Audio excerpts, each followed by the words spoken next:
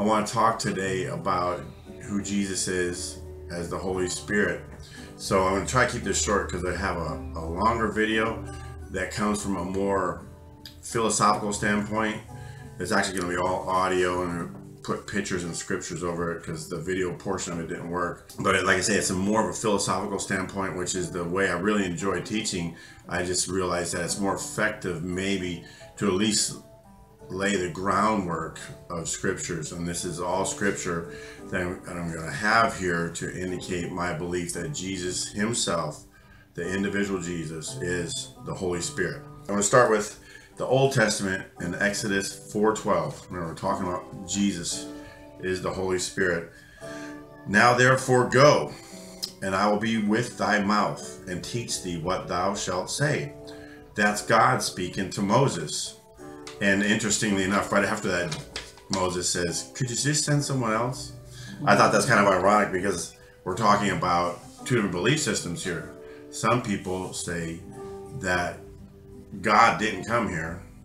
And some people like me believe that God himself came here. All of God, the person of God, the man that God became. That's what I believe. God's wrath was kindled against Moses because Moses didn't want to do it, so to speak. And I think that also can give you a clue as to why it was necessary for God to do it because no one could do it. Moses and and all the prophets basically came to show that there was no one that could actually do it. So that's why the writer of Hebrews pointed it out. So Jesus is so much better than these people. He's Moses, you know, he wasn't disrespecting him. He's just saying that there's only one that's better than Moses and the angels and the prophets and the law and everyone, and that's Jesus. And how could he be any less than all of God? There's only one that's good. Jesus himself said it. So we have that. He said, I, I will be with thy mouth and teach thee what to say. Now look at these three scriptures. These are all of the same conversation, records of the same conversation slash event in the New Testament. These are the words of Jesus in Matthew, Mark, and Luke. Matthew 10 20 says, this is all Jesus' words. He says, For it is not ye that speak, but the Spirit of your Father which speaketh in you. Mark 13 11, For it is not you who speak, but the Holy Spirit. Luke 21 15, I will give you a mouth and wisdom. I know I'm just taking a very short portion of each of those verses. He's talking about when the persecution comes. He's saying, don't premeditate on what you're going to say. And then he tells you who's going to talk for you. The same exact conversation. Your Father, the Holy Spirit, me. Now, he's not telling you who knows who's going to be speaking for you. It might be one of us, might be me, might be the other guy, the Holy Spirit, or maybe dad. I don't know.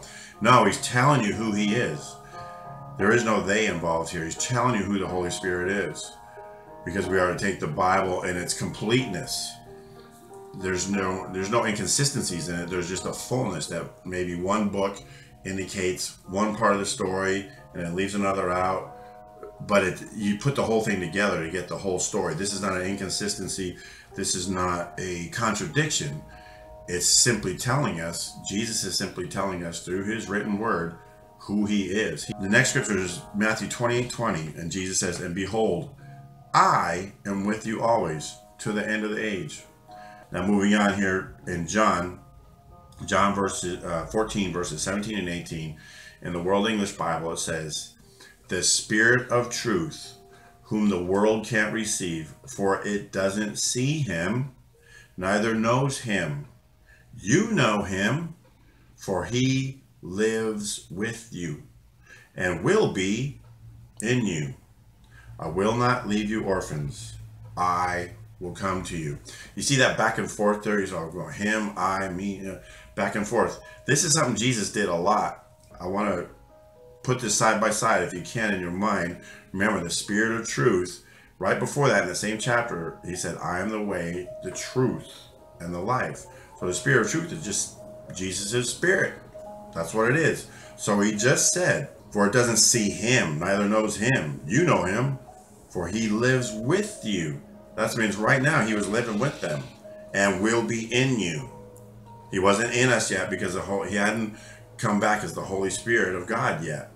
He says, I will not leave you orphans. I will come to you. That's very personal. If it was another person, if it was another individual, he would have said, he won't leave you comfortless. He won't leave you orphans. He will come to you. Oh, he's making it clear who he is. John 14, 25 and 26. These things have I spoken unto you, being yet present with you. That word yet present or uh, being present means in a given state. He's saying present in the current state I'm in.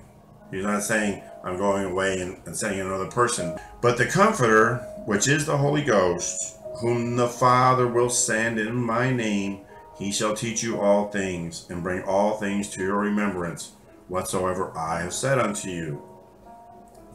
John 15, 26. But when the Comforter is come, remember I just said that, but the Comforter, when the Comforter is come, whom I will send unto you from the Father, even the Spirit of truth, which proceedeth from the Father, he shall testify of me. So one verse in 14 says, the Father will send in my name. And then in 15, he says, who I will send to you from the Father. He's saying, when when I leave, I'm going to come back. And I'm going to remind you of all the things I told you. And you're going to know that it's me because of what I tell you. Because you know my voice. You're my sheep. And you're going to understand because this is what only my sheep hear. This is why I'm here to tell you. This is between you and me. And that's what God uh, offers to us. He offers a, a ever deepening relationship that is more and more profound and more intimate every day. Again, the subject is Jesus is the Holy Spirit. And this these you in Romans will make that as clear as clear can be. And 8 verse 9 in the Bible in basic English, it says, You are not in the flesh, but in the spirit if the Spirit of God is in you. But if any man has not the Spirit of Christ, he is not one of his. If the Spirit of God is not the Spirit of Christ, he should have just said it the same way both times, one or the other. That makes it clear. Jump down to verse 11. If the Spirit of God, who raised Jesus from death, lives in you, he, he who raised Christ from death will also give life to your mortal bodies by the presence of his spirit in you. Next scripture, 1 Corinthians 6.14. In the KJV it says, And God hath both raised up the Lord, and will also raise up us by his own power. 2 Corinthians 3.17. Now the Lord is the Spirit. The Lord. There's only one Lord, right? The Lord Jesus Christ is the Spirit. And where the Spirit of the Lord is, there is freedom.